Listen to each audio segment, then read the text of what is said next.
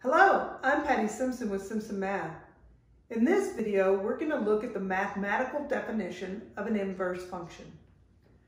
A mathematical definition says, by definition of inverse, two functions, f of x and g of x, are inverses of each other if and only if.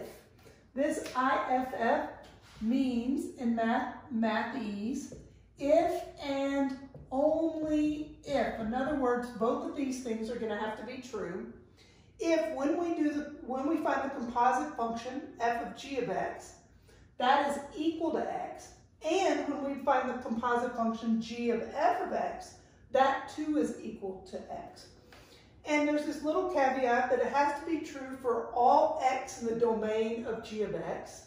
And here it has to be um, true for all this, this um, upside down A means for all or for every uh, x in the domain of um, f of x. And we talked about in the last video how in order to be able to find the inverse functions that the function must pass the horizontal line test or it must be one to one. And that's what this little caveat down here is, is um, discussing, that it has to be true for the x values in that domain. And once we've found that inverse function, or once we call each other inverses, we use this notation. This means the inverse of that. So let's just show that these two functions are inverses of one another. And the way we do that, by definition, we can use the definition to show it, is we need to to show this composite function is equal to x, and we need to show this composite function is equal to x. If that's true, then we'll know that these two are inverses of one another. So we start by finding f of g of x, that composite function.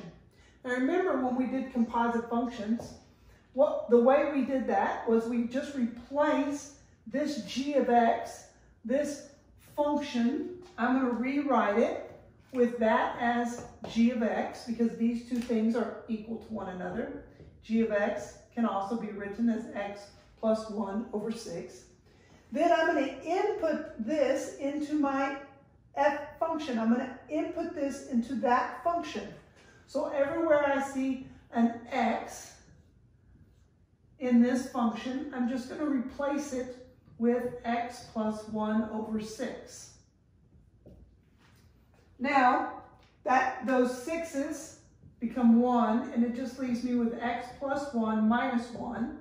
And plus 1 minus 1 just leaves me with 6. So sure enough, when I do this composite function, I get back out what I put in. Let me do it the other direction now. g of f of x. Again, I'm going to rewrite it. Instead of writing f of x, I'm going to write it as um, g of 6x minus 1 because f of x is equal to 6x minus 1.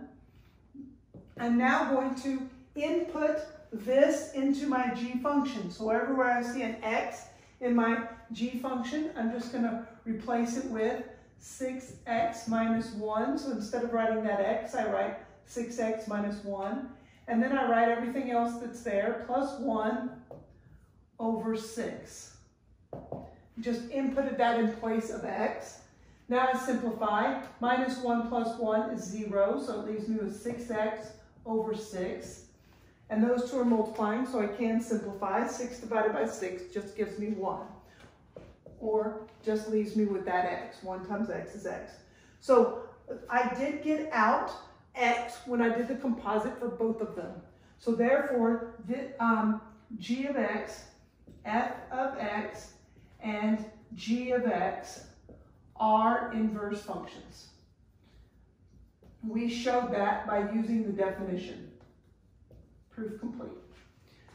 So there's the mathematical definition of an inverse function. In the next video, we're going to look at finding inverse functions and we'll do some examples of finding those inverse functions.